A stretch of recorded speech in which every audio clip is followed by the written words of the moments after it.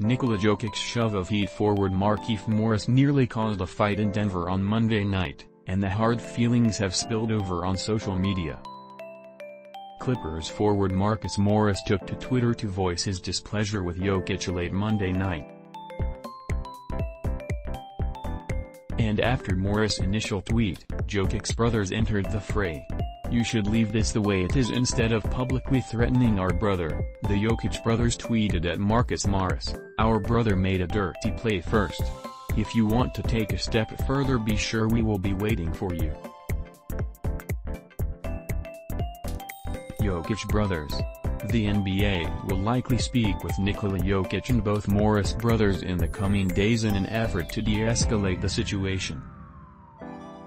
As for the two players involved in Monday's altercation, neither has received a suspension as of Tuesday afternoon. Denver advanced to 6-4 in 2021-22 with Monday's victory. The Heat are 7-3 this season entering Tuesday night, 0. 5 games back of the 76ers for the best record in the Eastern Conference.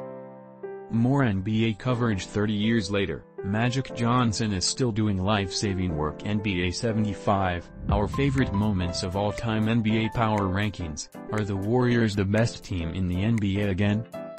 US out begins to turn the page more than half of the group heading to Australia for a pair of friendlies to close out 2021 did not take part in the Olympics.